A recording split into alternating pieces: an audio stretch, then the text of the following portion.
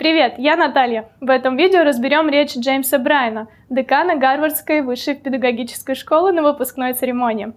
Речь, произнесенная по долгу службы, стала вирусной в интернете, набрав в Фейсбуке более 8,5 миллионов просмотров.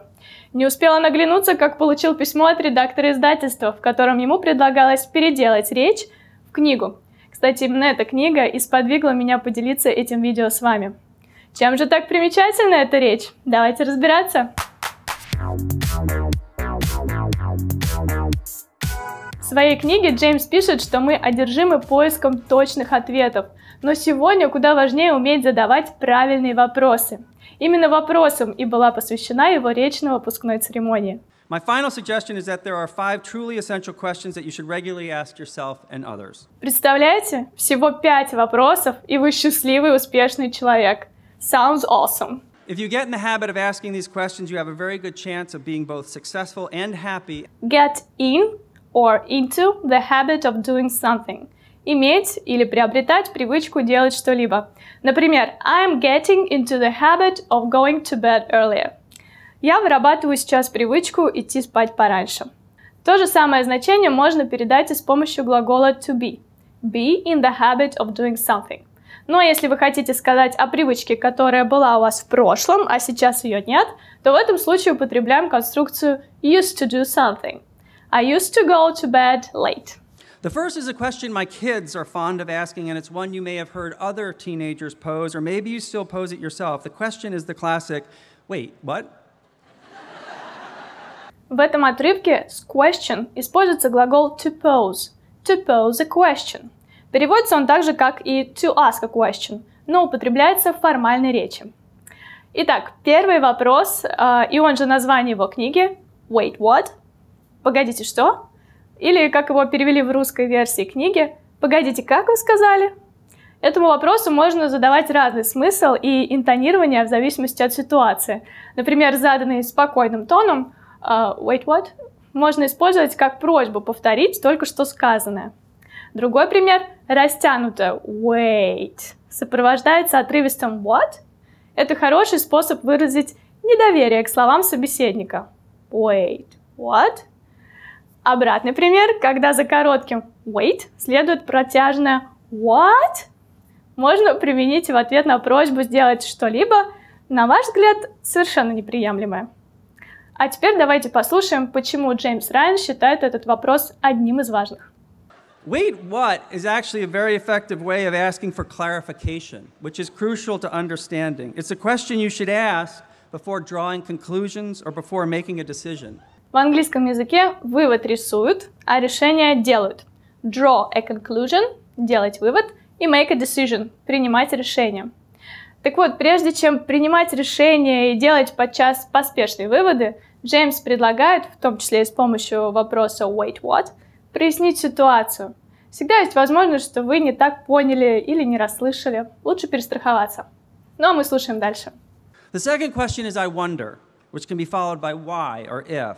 The second question is I wonder. Глагол wonder переводится как интересоваться, желать знать. И в этом его значении за ним следуют вопросительные слова. Например, I wonder why she left so suddenly. Интересно, почему она ушла так внезапно?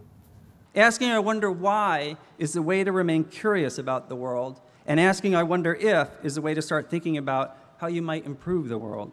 Задавая себе вопрос I wonder why, интересно, почему, вы сохраните в себе любознательность. To remain curious, сохранять любознательность. Значение I wonder if в данном контексте лучше всего передает вопрос «Интересно, а что если...» И он помогает нам задуматься над тем, как улучшить мир? To improve the world. В последнее время мне пригождается очень часто третий вопрос. Давайте послушаем, о чем он. The third question is couldn't we at least? This is a question to ask that will enable you to get unstuck, as they say. Третий вопрос. Couldn't we at least? At least в данном контексте переводится как «хотя бы». То есть вопрос звучит как «можем ли мы хотя бы?» This is a question to ask that will enable you to get unstuck, as they say. Это вопрос, который дает нам возможность, enable, давать возможность, to get unstuck, выходить из тупика. Такой вопрос помогает начать. Начать это вообще самое сложное. Когда перед вами стоит большая задача, которая кажется неприподъемной, можно задать себе, могу ли я хотя бы сделать что-то небольшое, что приблизит меня к этой цели, и одновременно даст понять, а нужно ли вообще к ней двигаться. Попробуйте как-нибудь. Ну а мы переходим к четвертому вопросу. The fourth question is how can I help? Четвертый вопрос. How can I help you? Чем я могу помочь? Смысл в него он вкладывает следующий. Прежде чем что-то сделать для кого-то, спросите, какая именно поддержка нужна ему. Очень часто мы еще не успеваем дослушать проблему, как начинаем советовать, что лучше сделать. Джеймс Райан вместо этого предлагает задать вопрос. How can I help you? The fifth question is what truly matters. This is a question that forces you to get to the heart of issues and to the heart of your own beliefs and convictions. What truly matters? Что действительно, по-настоящему, truly имеет значение. Важно. Matter. Это вопрос, который вынуждает вас to get to the heart of issues, вникнуть в корень проблем. Вопрос what truly matters помогает держать курс на главные цели, не отвлекаясь на пустяки и не размениваясь по мелочам. Это был пятый вопрос, но он не последний. В конце своей речи Джеймс называет бонусный вопрос. Что это за вопрос, вы можете узнать сами, посмотрев полностью его речь по ссылке ниже. Плюс еще одна ссылка, где он рассказывает о вопросах другими словами. Попробуйте разобраться сами, я вас верю. Ну а если не получится, дайте знать, разберемся вместе.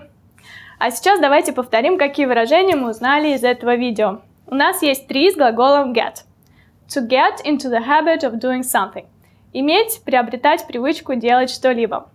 To get unstuck – выходить из тупика. To get to the heart of issues – вникнуть в корень проблем. To pose a question – задавать вопрос в формальном языке. Draw a conclusion – делать вывод. Make a decision – принимать решение. Wonder – интересоваться, желать знать. To remain curious – сохранять любознательность. Enable – давать возможность. Ну что, я надеюсь, это видео было вам полезно и, может быть, кого-то вдохновит на прочтение книги Джеймса Райна. Она совсем небольшая, но классная. С вами была Наталья. Пока-пока.